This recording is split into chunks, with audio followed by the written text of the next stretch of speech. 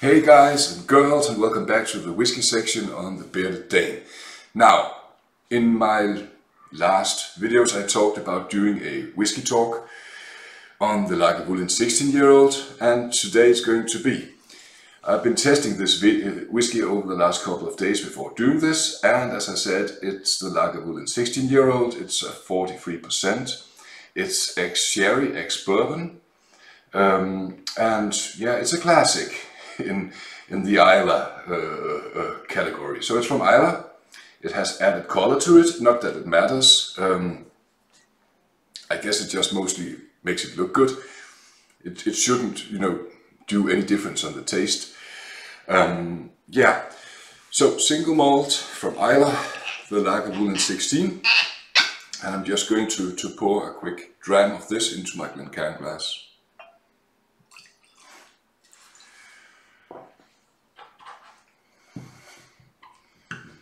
So, the Lagavulin 16, let's see on the nose first. Yeah, I think I talked about this in my last video as well.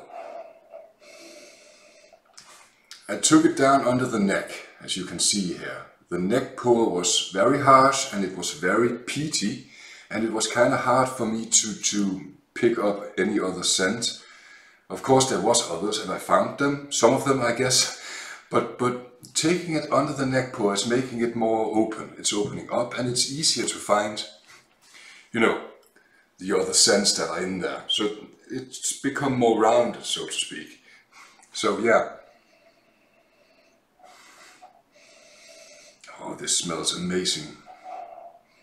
I get peach. I have, I've kind of made this, I don't know if it's new thing, I found a way of doing, you know, when, when you breathe in through the nose with open mouth, then you kind of, when you press out, press the air through mouth and nose, and you get kind of these fruit scents more clear. So I get peach, I get apricot, And there's definitely some caramel in there. Toffee, tobacco.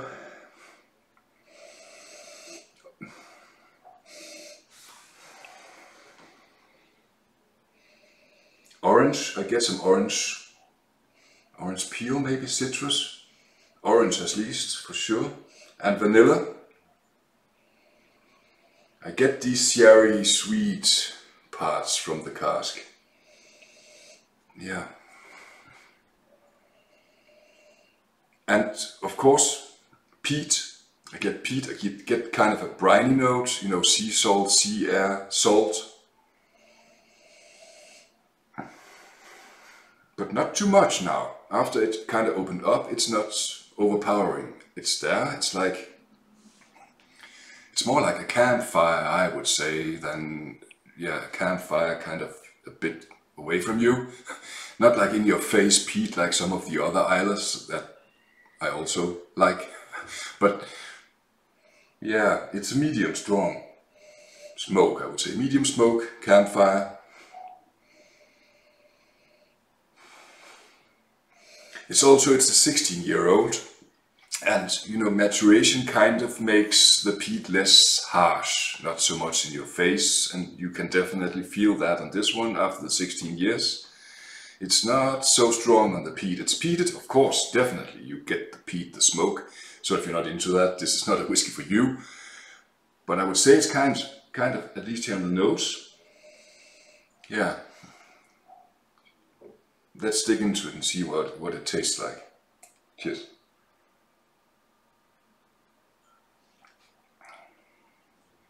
Yeah. No burn at all. It's just smooth going down. Of course you get a bit of warmth here in your chest from, from the alcohol, but no burn whatsoever. Yeah, and after you, you take this first sip, the nose is also getting stronger. You, you better get the nose. So open your mouth, breathe in through mouth and nose after taking this first quick sip. You haven't been killing your palates with alcohol because you just took a quick sip, you're just adjusting to the alcohol, I guess. And now we go in for the second one.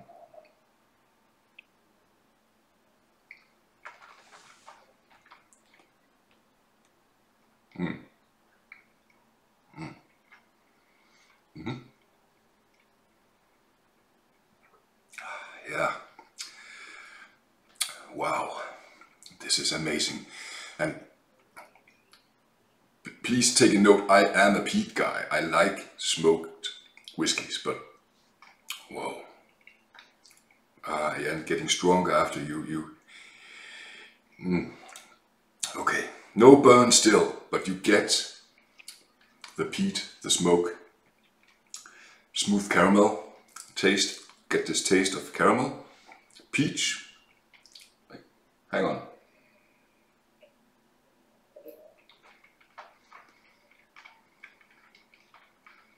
Mm -hmm. You get the oak from the bells, kind of covering your mouth, not unpleasant, it's nice, it fits. Mm. Pear, get pear, apricot, butterscotch, you know from like Werther's Echte, these, yeah, yeah, get this kind of butterscotch thing, tobacco in the end, in the back. And again, medium intense smoke, not in your face, nice rounded smoke. Yeah, it's it's an amazing whiskey. Sorry.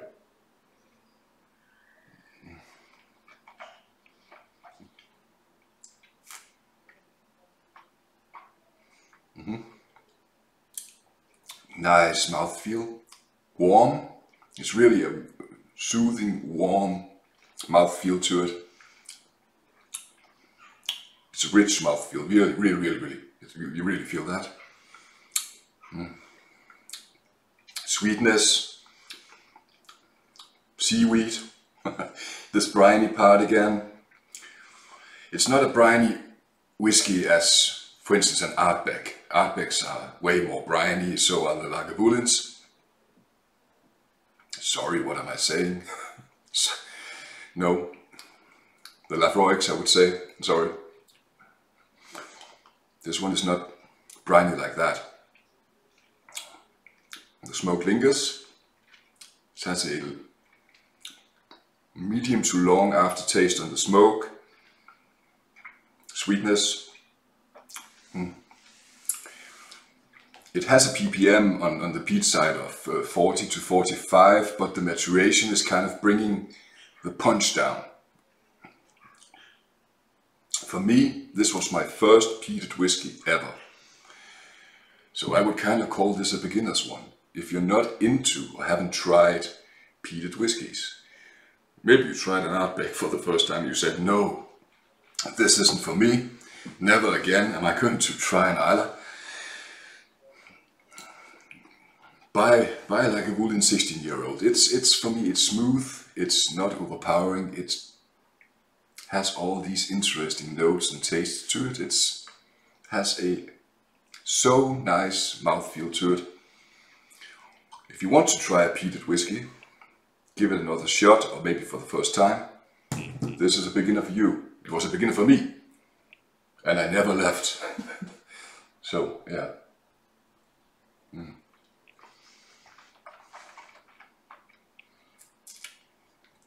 Mm. Yeah. Definitely. An amazing whiskey. So that was the Lagavulin 16. Hope you liked the video. It was a, the first I ever tried to do this with, you know, nosing, tasting from a Glencairn. As I said in the first video, I'm used to just drinking out of a tumbler and doing it because I like it, it's kind of fun. But now I'm trying to go more in depth. So if, if you like kind of what I'm doing here and imagining this with a better camera and maybe a bit more pro content, I have to get into this, guys, so give me a challenge. Then please subscribe, like, write a comment. Remember the little bell so you get notifications when there are new videos, new content on my YouTube. So yeah, take care.